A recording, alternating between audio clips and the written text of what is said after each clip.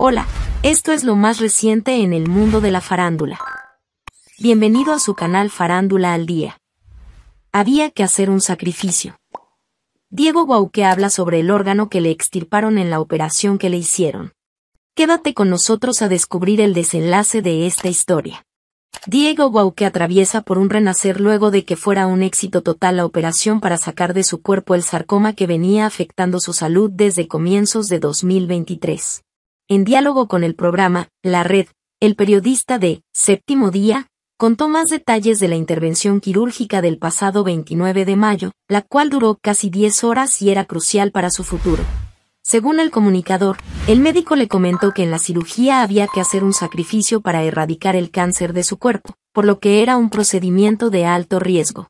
Me dice el doctor que otra vez tocaba entrar a cirugía y sí o sí tocaba sacar eso, sarcoma, pero que no era gratis, es decir, había que hacer un sacrificio, dijo.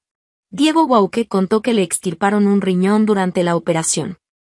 En la entrevista con el medio citado, Wauke reveló que el sacrificio podía ser desde el riñón hasta la vena cava, pero que siempre tuvo fe en que todo iba a salir bien. Así, el periodista detalló que uno de sus riñones tuvo que ser extirpado para llevar a cabo la operación y que la vena mencionada también fue recortada, ya que un pedazo estaba comprometido. Estaba tranquilo, pero había angustia y zozobra. Cuando me despierta mi esposa, le pregunto cómo me fue y ella me dice que bien, me dijo que no hubo necesidad de intervenir el páncreas. Le dije que sí me sacaron el bicho ese, y me dijo que sí. Precisó. Y añadió, el riñón se fue, ahora solo tengo uno, ese fue como el sacrificio.